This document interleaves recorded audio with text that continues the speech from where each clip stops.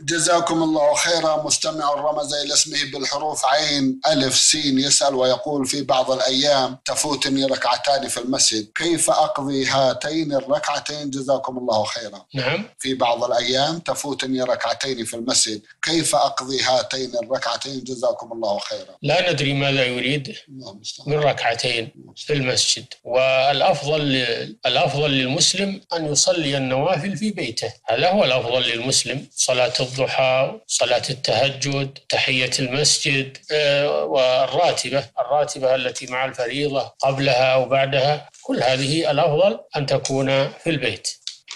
إلا إن كان يقصد بالركعتين في المسجد تحية المسجد فإن المشروع أن الإنسان إذا دخل المسجد يريد الجلوس فيه فإنه يصلي ركعتين لقوله صلى الله عليه وسلم إذا دخل أحدكم المسجد فلا يجلس حتى يصلي ركعتين.